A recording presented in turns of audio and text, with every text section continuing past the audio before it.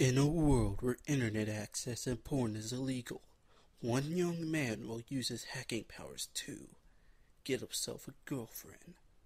But of course, this goes horribly wrong for Vance, as he doesn't realize that she's a member of a terrorist cell, and her ally Frey decides to recruit him, seeing his potential as a hacker, to help them free the world from the oppressive and strict government.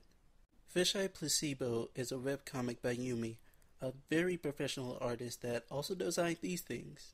I kid you not.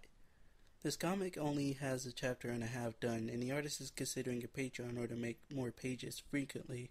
I read the comic on Yuumei's DeviantArt, but I think the website is better fitted for reading it. My thoughts, while this setting has been done before, the character death and surprising comedy is what drives this series, not to mention the awesome artwork.